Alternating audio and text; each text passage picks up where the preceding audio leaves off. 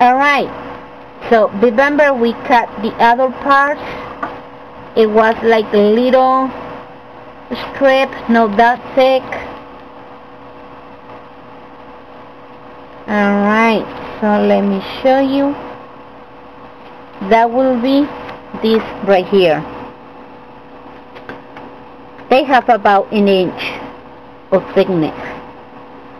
So what we're going to do I'm going to put that four strips like that and we're going to try to make a very thick bead we're going to wet it.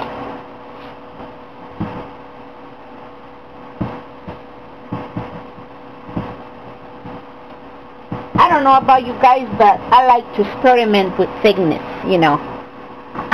See how thick can I get my beads see can um long can I get my beads and stuff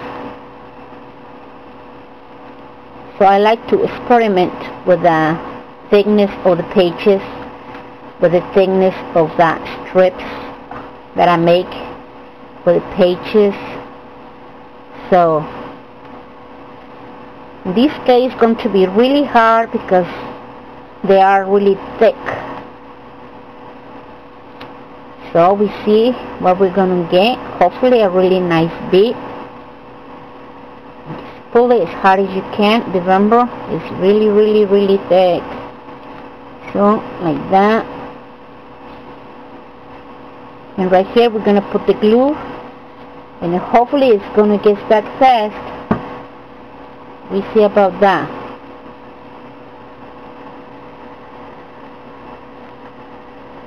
Okay.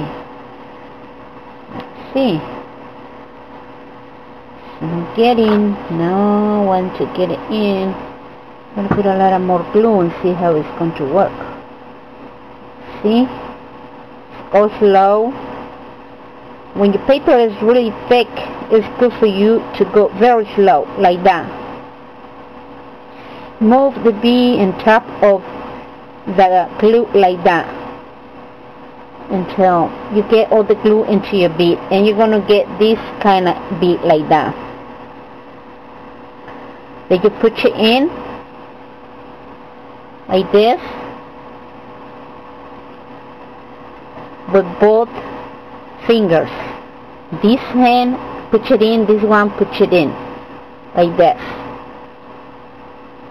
Alright so you got this this bead. It looks like that. I like it. I hope you guys like it too I think it looks nice. Very very like how do you call it? Very um bed made or something? Because the thickness make it look like that. But when you put the other glue it's going to look really shiny really really nice. Alright well thank you very much for watching my videos and would you please not forget to comment rate and subscribe to my channel really appreciate that so much I'm gonna take it out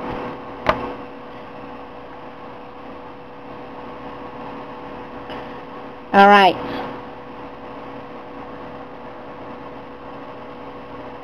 I do not even know how it actually looks. Through the camera I didn't see nothing. Hopefully I didn't mess up the bead. Well anyway, when you're done with your bead is going to look like that. After that you just put the lace on it and then let it dry to get the bead ready to make the jewelry with it. Alright?